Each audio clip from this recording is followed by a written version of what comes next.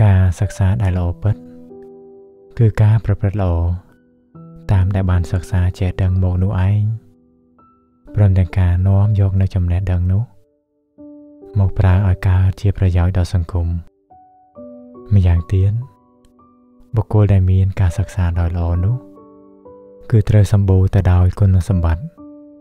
ទាំងផ្លូវលោកទាំងផ្លូវធម៌ពលគឺមានចំណេះដឹង ក្នុងការងារអាជីពដើម្បីរស់នៅឲ្យបានល្អក្នុងលោកនិងជាអ្នកមានសិលធម៌ដើម្បីរស់នៅជាសុខដោយការមិនក្តៅក្រហាយចិត្តព្រមទាំងជាគំរូដ៏ល្អនៃបរិវារជន និងអនុជនទៀតផង ការងារសុចរិត